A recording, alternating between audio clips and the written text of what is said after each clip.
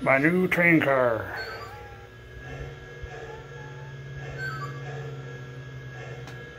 You can pause that and read that if you want. It's MTH. Very nicely built. Really happy with it. Paid more for it than I wanted to. But I'm have had a hard time finding anything Detroit Tigers.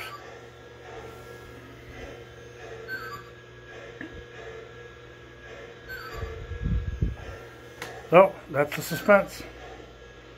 That's it.